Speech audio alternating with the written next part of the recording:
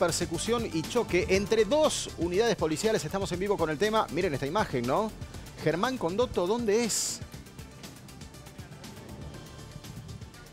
San Martín, a 100 metros de la cancha de Chacarita, así terminó este patrullero que terminó chocando contra otra unidad también, en este caso de la policía del municipio de San Martín, en el momento en que estaban persiguiendo a un vehículo que estaba en calidad de sospechoso en el centro de este partido, se dieron a la fuga estas personas que se está investigando si son delincuentes y en esta intersección los dos patrulleros no se vieron, venían a gran velocidad, esto eh, da indicios de cómo terminaron, particularmente este, fíjense que esta columna salvó eh, directamente al que el patrullero no se metiera dentro de la casa, ¿no? porque lo frenó directamente. Pero bueno, las consecuencias mayores las sufrieron los dos policías que venían adentro de esta unidad. Estos dos policías terminaron internados, al igual que el conductor de esta otra camioneta, que pertenece al municipio de San Martín, que es la que recibió el choque en la zona frontal. Pero acá se activaron los airbags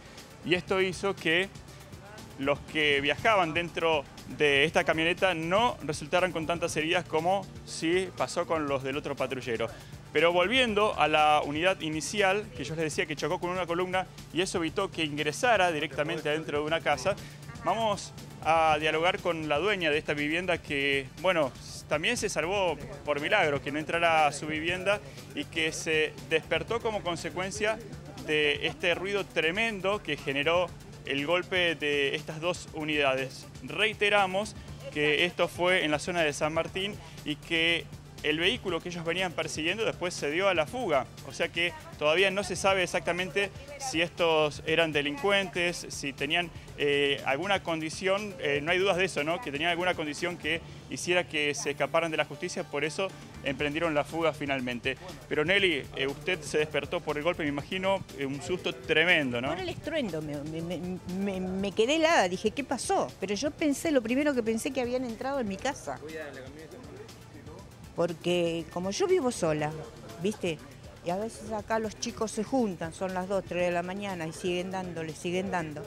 ¿Viste? Ese fue mi temor. ¿Y cuando salió de su casa, con qué se encontró? ¿Con, este panorama? Así, ¿cómo está? El policía estaba tirado ahí, los otros dos allá. El que estaba ahí, para mí estaba inconsciente porque lo movían para todos lados y no reaccionaba. Es el conductor, el que quedó pegado a la columna de, de luz. Exacto, exacto. Estaba acá. Se arrastró hasta allá y después no se movió más. Después los chicos de la esquina lo ayudaron cuando vino la ambulancia, que había tardado media hora más o menos. Terminó bastante para asistir. Sí, eh, para ponerlo en la tabla lo ayudaron y lo llevaron.